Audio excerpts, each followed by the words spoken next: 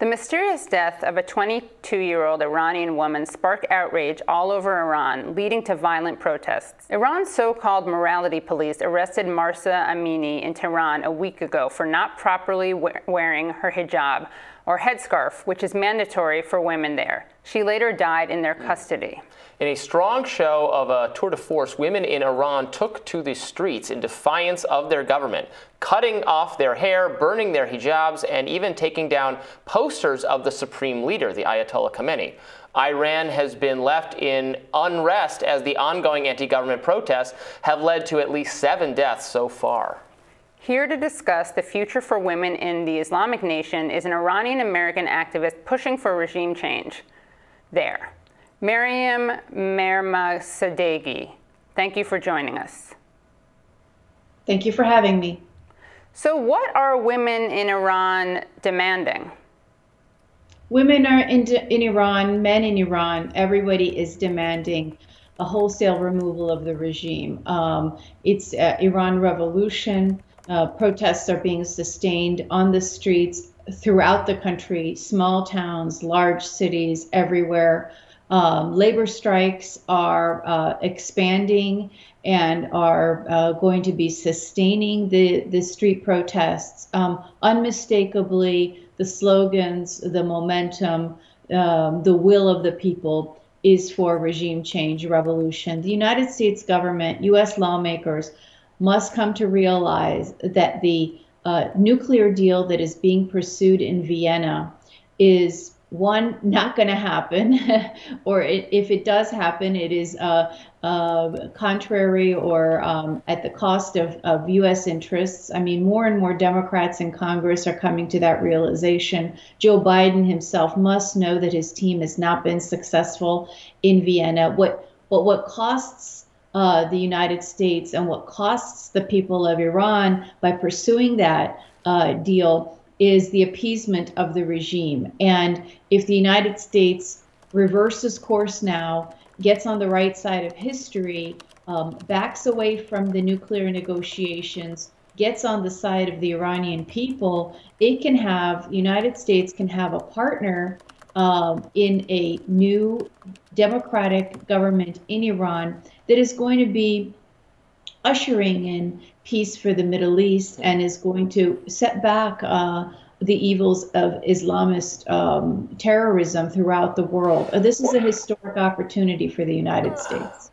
Yes, certainly, and and you know, I, of course, ideally, um, I would want, and so many would want, uh, the people of Iran to live under uh, live under self-government, under a government that is respectful of individual rights and liberties and toleration, and does not, you know, force Islamic extremism on them. It absolutely lets women go into the streets, not wear hijab, do whatever they want, have the same uh, rights they have here or in other Western countries.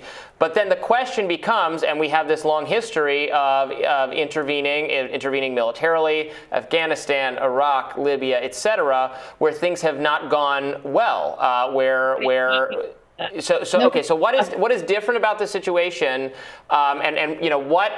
Given that we don't want any, we, we simply do not. The people of America don't want another you know military commitment, uh, one with a, a, nuclear potentially nuclear power.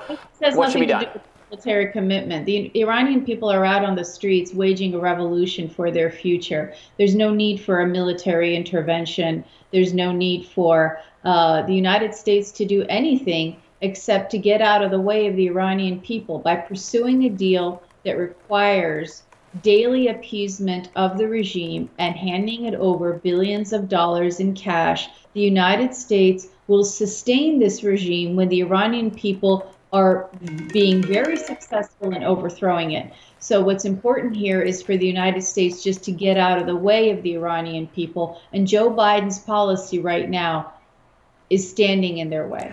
Do most Iranians feel the same way, though, about the nuclear deal?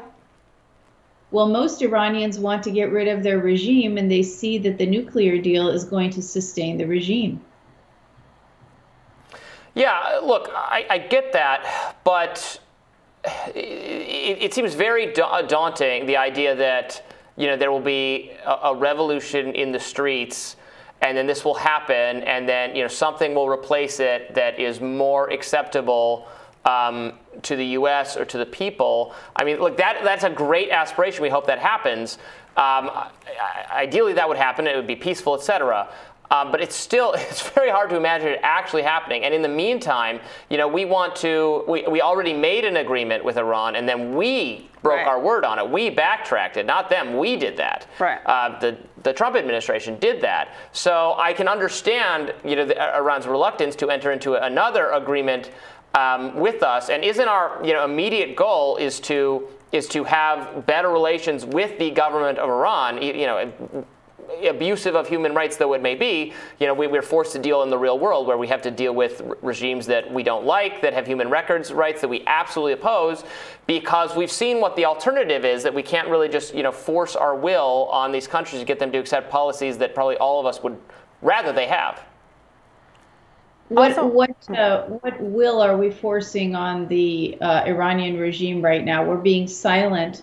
We've been silent on the human rights abuses. If it wasn't for pressure from the Iranian people, Joe Biden and his team wouldn't even be making statements of rhetorical support. They're still abiding by their plan to um, uh, enter into a nuclear deal with this regime, which will require the United States to hand over the regime billions of dollars, as the Obama administration did. Exactly how are we forcing our will on, uh, uh, other than to keep the regime alive?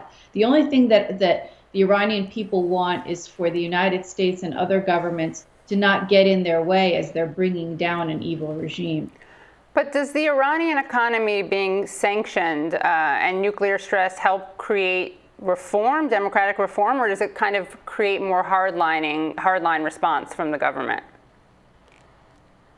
people aren't looking for reform.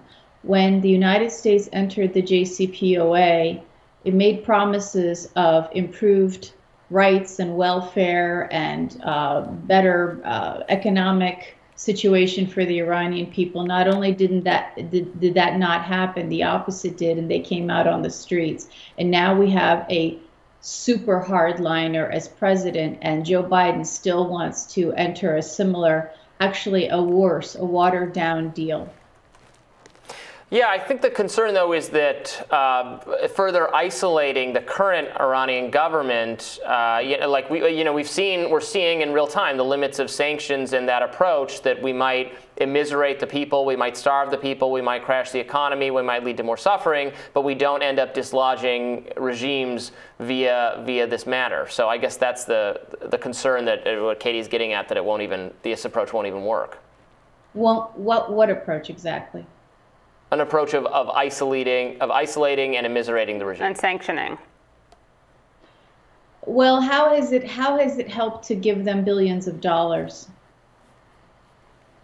Well, where have sanctions helped?